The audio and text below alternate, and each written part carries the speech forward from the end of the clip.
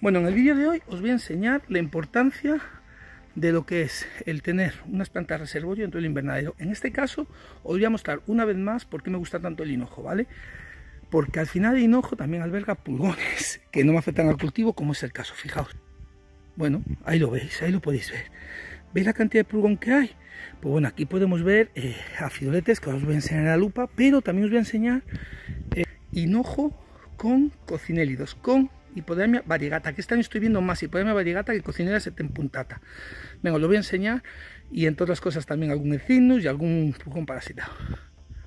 Bueno, fijaos qué maravilla, aquí podéis ver lo que os decía de la mariquita donis instalada aquí en este, en este hinojo dentro del invernadero.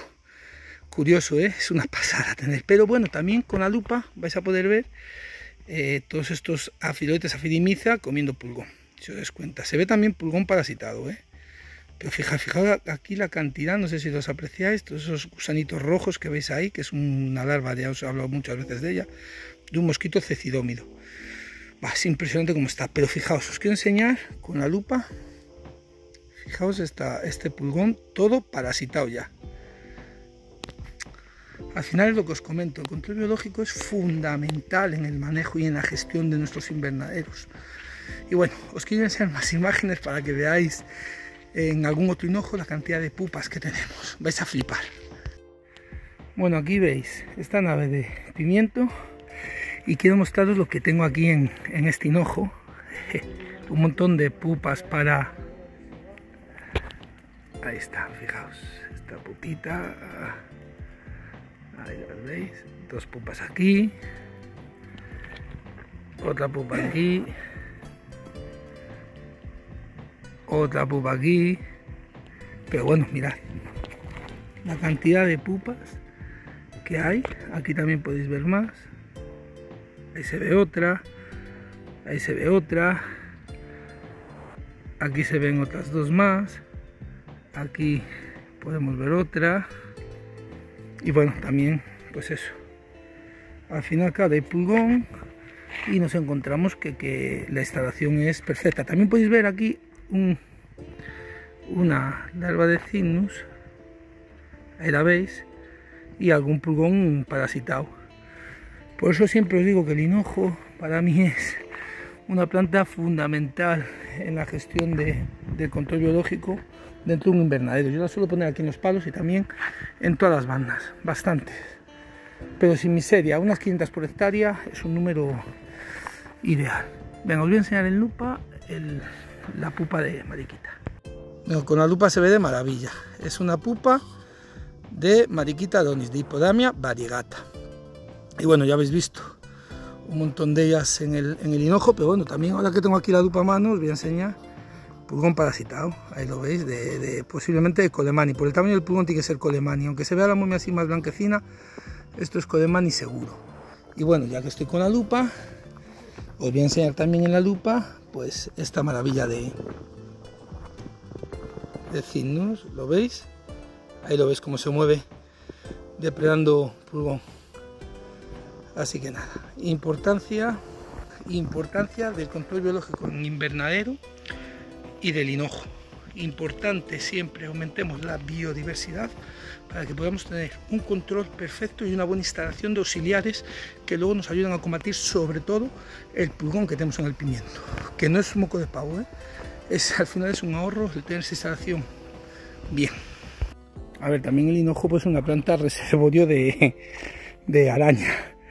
Y bueno, yo aquí como veis he reforzado con Amblysia Swisky para controlar este, estos focos de araña que veis ahí la telilla. Pero bueno, eh, lo importante es que no se nos vaya de las manos, reforzar bien también las plantas que estén cerca, como podéis ver ahí, que cada planta tiene un sobre, ir evitando que esta araña se propague, aunque bueno, como veis la tengo bien señalizada con esa cinta amarilla. Bueno, pues ahí está la, la colega, a ver si se enfoca bien, un adulto de, hipodamia, aquí en el, en el hinojo gozándola con el pulmón, pero también se ve alguna pupa de Eupeus como veis ahí. Es una pupa de Eupeus pero aquí podemos ver la larva del sílcido, eh, pues haciendo polvo, haciéndose polvo con el pulgón, para que veáis la cantidad de auxiliares que tenemos aquí metidos. Bueno, fijaos también aquí qué pedazo de larva de Upeus que tenemos sobre este hinojo plaguito de pulgón. Bueno, esta es enorme ya, está casi completando su ciclo. Bueno, tenéis una ahí, pero si subo más, ahí tenéis otras dos más. ¿Os dais cuenta? Bueno, al final los sílfidos son, son fundamentales, pero bueno, sílfidos y también como, como os digo, no solo de sílfidos, también tenéis ahí afidoletes en este hinojo también. Por supuesto también, pues muchos sílfidos, como podéis ver ahí, esta esfadoforia.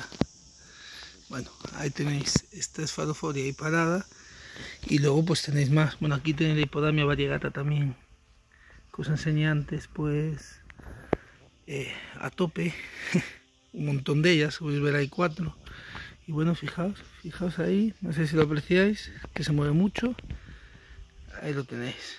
Lo estoy siguiendo con la cámara un pequeño sílfido que lo que está haciendo es no hace otra cosa que, alimentarse de, esta esta floración tan espectacular. Episotesfadoforia. ¿La veis ahí?